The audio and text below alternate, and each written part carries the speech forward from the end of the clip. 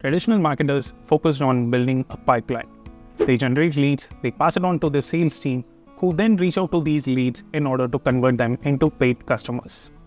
There was one problem with this particular process that led to the rise of the growth marketing function. Not all companies were happy with the process, especially companies who are into subscription based services like Amazon and Netflix found it too costly to involve a sales team in order to sell a product that costs only like $2. Born the growth marketing function.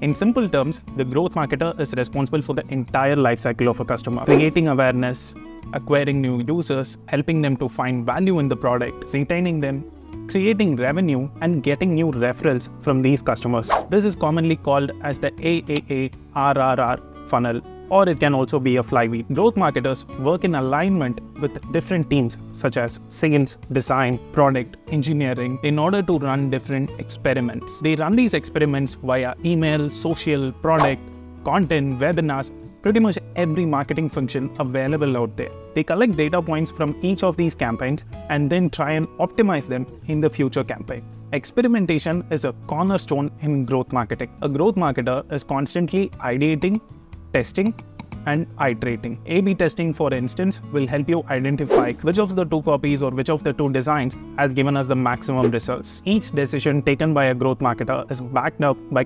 comprehensive data analysis acquired from each of the experiments which has run in the past.